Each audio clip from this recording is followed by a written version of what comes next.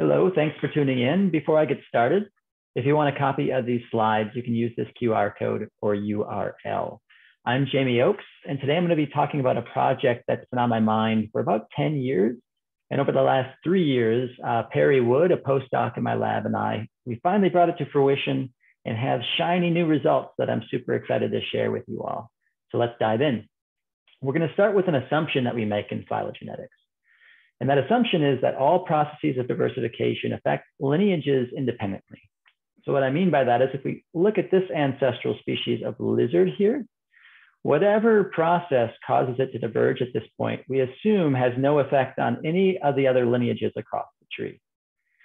Okay, there's lots of reasons why that might that assumption might be violated. So let's look at a cute little example here of three lizards co-occurring on this island. Let's imagine sea levels go up, fragment the island, and cause all three species to diverge. That's clearly violating the assumption that divergences, divergences are independent across the tree. Um, this is lizards on trees, which I think is fantastic, but this could also be three individuals bringing different lineages of a virus to a social gathering. Uh, that would generate similar patterns of divergence. This could be three different uh, members of a gene family on a segment of a chromosome that gets duplicated. That's going to generate the same, same sort of pattern of shared divergences across the tree. Okay, so lots of interesting processes across the life sciences that you know, generate this pattern of shared divergences across the tree. Our current methods assume this can't happen, so we're limited on our ability to study these processes. So that's the goal here, is to incorporate shared divergences into phylogenetic inference so that we can actually test the patterns that are predicted by these processes that, um, of co-diversification.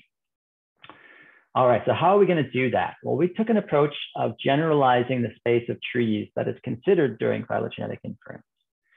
So if we have four tips, here are the trees that we currently consider, right? They all have three independent bifurcating divergences.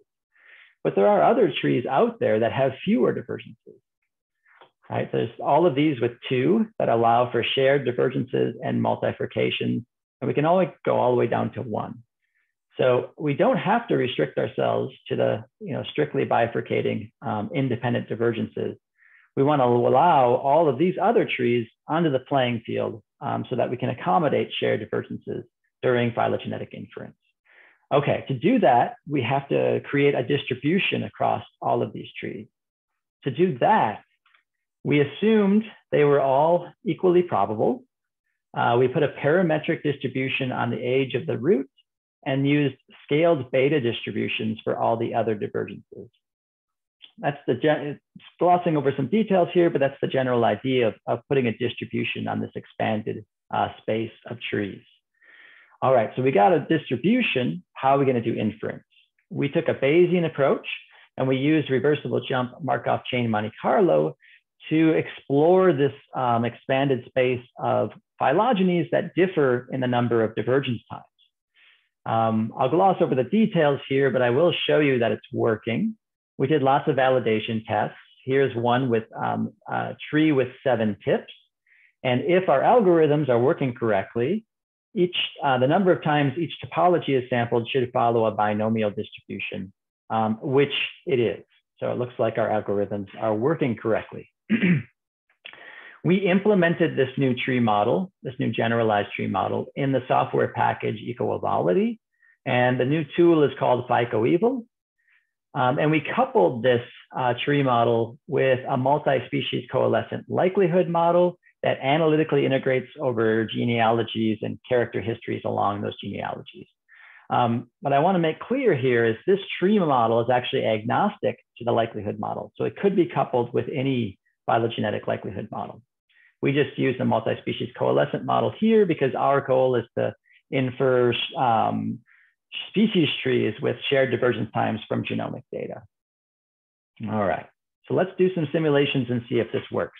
So we simulated 100 data sets on each of these two trees. Um, each data set has 50,000 characters and we're assuming a strict clock. So we have a tree that has um, shared divergences and multifurcations and one that has only independent bifurcating divergences.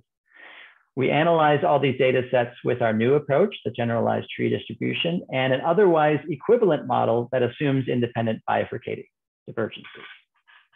We also simulated uh, uh, data sets on trees that are randomly drawn from these distributions. So we randomly draw the topology and divergence times and then simulate a data set on them. All right.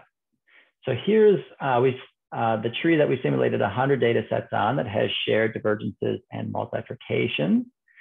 And let's see how we did. This is showing you the um, histograms of the posterior probabilities of correctly inferring these shared divergence times. It looks very good. We're you know, getting very high posterior probabilities and correctly, um, correctly inferring um, that those shared divergence times. And the same is true for these multifurcations. So that looks good. Um, let's look at these same data sets. So I'm just moving the same tree over to the left and just look at the distance from the true tree, okay? And this is just showing us that our new approach is um, significantly closer to the true tree um, than, than assuming independent bifurcating divergences. So when there are shared divergences, the new approach seems to be working well and doing significantly better than um, sort of the current standard of um, assuming independent bifurcating divergences. That's great, but what if there aren't any shared divergences? What if they're all independent and bifurcating? Is there a cost to the new approach?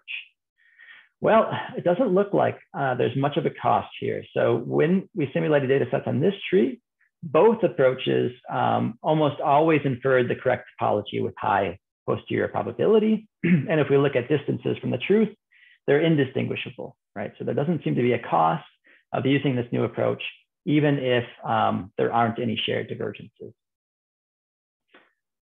Okay, so what if we draw um, the tree and the divergence times randomly from the generalized tree distribution? Well, we estimate tree length very well, um, and we get the expected coverage of our 95% confidence interval. Um, and when there are shared divergences, we generally infer them correctly and with high posterior probability. So that looks um, good. One surprising result is that we actually got better MCMC convergence and mixing with the new, with the new uh, generalized tree model. Um, I was sort of really scared that if we would get the opposite, but it was a pleasant surprise that we were actually getting better convergence and mixing. All right, so an empirical application. Here's Southeast Asia today. Here's what it looked like during glacial periods. Um, so there's been a lot of, over the past four to five million years, there's been a lot of island fragmentation.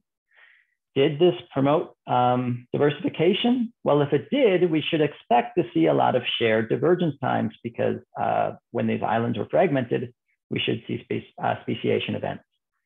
All right, so to assess that, um, great collaborators Cam Siler and Rafe Brown had samples of bent-toed geckos and, and the genus Gekko sampled from across the Philippine Islands. So we collected RADseq data from them and applied the new approach.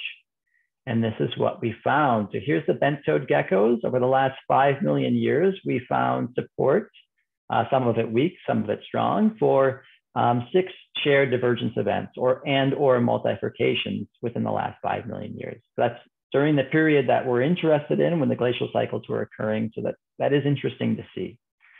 Um, the genus Gekko, we see about the same thing. So uh, six shared divergence times and or multifurcations, um, and most of them are within the last 5 million years.